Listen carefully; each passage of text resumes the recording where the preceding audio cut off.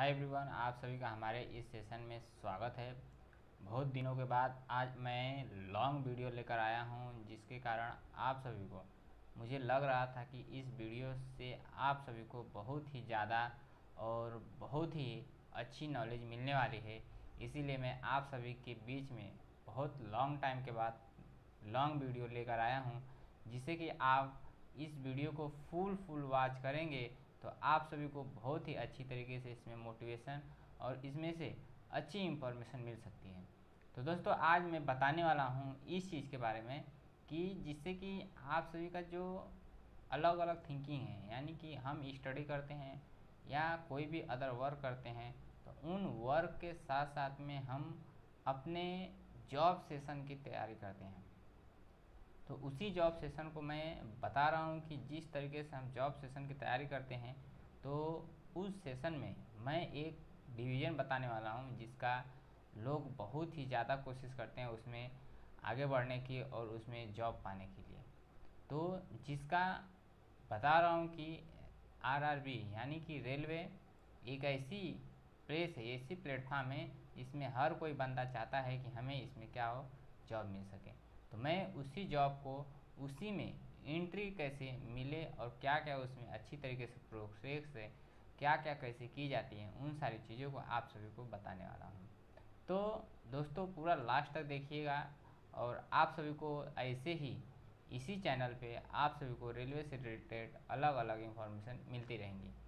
तो जैसे कि आप सभी जानते हैं कि रेलवे में जॉब पाना बहुत ही मुश्किल है और उसमें बहुत सारे इस वैकेंसी को रोक दिया गया है और उन्हीं वैकेंसियों के वजह से बहुत सारे विद्यार्थियों का बहुत ही बड़ा नुकसान हो रहा है। तो उन्हीं नुकसान की भरपाई करने के लिए किस तरीके से हम आगे उसमें इंट्री लें और उसमें जॉब प्लेस अपना निर्धारित कर पाएँ, उन्हीं सारी चीज़ों के बारे में हम इस चैनल पर डिटेल में शॉर्ट शॉर्ट वीडियो में सीखने वाले हैं और जानने वाले हैं। तो जैसे कि आज मैं एक इन्फॉर्मेशन बता देता हूँ कि जब भी हम रेलवे की तैयारी करते हैं या कोई भी हम रेलवे की एग्ज़ाम देते हैं तो उसमें ध्यान रहे कि हमें, ज़ाहिर सी बात है कि उनमें, उसमें हमें पाँच स्टेप में, ज़्यादा से ज़्यादा पाँच स्टेप में हमें पेपर सॉल्व करने में आता है। तो इस तरीके से पाँच स्टेप में जब हम पेपर सॉल्व करते हैं तो उसमें अधिकतर करके लोग उसमें माइनस मार्किंग की वजह से क्या होते हैं, छट जाते हैं। तो उसमें, अगर आप उसमें जब छटने की चांसेस रहती है तो आप उसी के माध्यम से, कहीं पे भी कोई भी टेक्निकल हैंड अगर स्किल सीख लेते हैं साथ साथ में तो आप उस जो आप माइनस मार्किंग की वजह से जो आपका मार्क्स जो कम होता है, वो क्या होगा कि उसके माध्यम से वो आपका मार्क्स क्या होगा कवर कर सकता है। तो दोस्तों, इसी सारी चीज़ों का बात का ध्यान रखिए और जैसे आप तैयारी करते हैं, उसी के साथ में आप वो भी कोई एक हैंड स्किल ले सकते हैं तो उसका वहाँ पे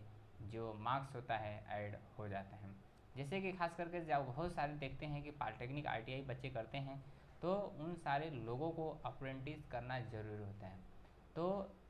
अप्रेंटिस यानी कि ये क्या होती है? ट्रेनिंग होती है। उसी ट्रेनिंग के माध्यम से लोग अलग अलग अपने ज़रिए अलग अलग कार्य करते रहते हैं। तो दोस्तों, मैं बता दूँ कि आप पहले हैंड स्किल कोई भी तैयार कीजिए, फिर मैं आप सभी को और भी आगे का प्रोसेस बताने वाला हूँ। दोस्तों, बस मैं आज के वीडियो में इतना ही बताने वाला हूँ कि आप अगर कोई भी चीज़ के